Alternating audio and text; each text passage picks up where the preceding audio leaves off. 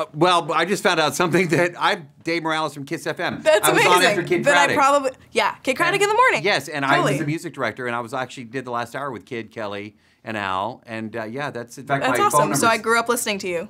How about that? Yeah. But I'm from Houston. Yeah, I'm So, from Dallas. right we can on. still be friends. And we can still be friends. Mm-hmm. I was gonna walk in and say the first thing I was gonna say was like, I'm scared to be here because. Are you still? Well, you're cool, but she's nuts. Yeah. Well, you know, she's broken. She's intense, definitely. Did it feel that, that way? Could you feel the you know a little of the intensity playing this character? Yeah. Yeah. Yeah. I mean, like as an actor, as a human being, I understand in my brain that it's not real.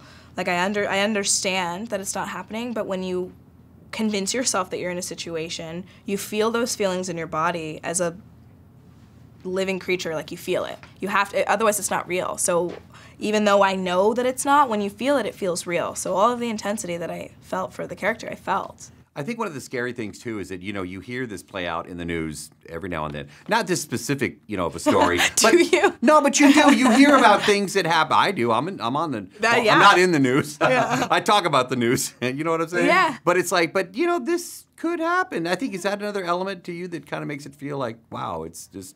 Yeah. I mean, it's. I think that one of the things that this this script does really well is that it sets it up perfectly. That it's a happy couple who loves each other and they have good jobs and they're successful, and then they have this girl who's sweet and you know it's his sperm and her egg, and everything seems like it should go perfectly. And so then I think everybody can relate to that, and they're on your team. Like right then, then they're willing to take the ride with us. I can't imagine what the audition was like Yeah. for this role. What? Tell me what you were thinking when you walk into read Um, for this. I was thinking, wow, this is a lot to do in one audition. I'm gonna do it one scene at a time. Okay. Mm-hmm.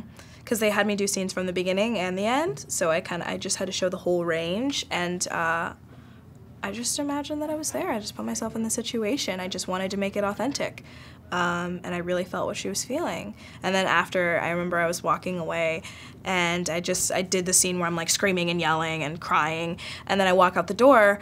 And uh, I was like, bye, thank you, have a good day. And Twinkie was like, how do you do that? How do you go from all that crazy to bye, have a good day? And I was like, I don't know, bye. You're like, that's what I do. Yeah. All right, you're from Texas, Dallas, Texas. Yeah. Just up this up 45. Yeah. You filmed in New Orleans, which is in our neighborhood Did. backyard. I know. My so yeah, my aunt came drove up and came visit. me. But I read there were a lot of bugs and. Oh my god. Tell me about that. Yeah, I mean, like it, it's like gnats, except they're mosquitoes. So they're gnats who want your blood. It was so it was, it was a lot of bugs, um, and the humidity, and but I love New Orleans. Like that was just that was you know payoff for like great music. We were there during Mardi Gras, so I could look outside my window, sit down on my balcony, and see the parades go by, and the food, and the essence of the city. I think is a character in itself in the film.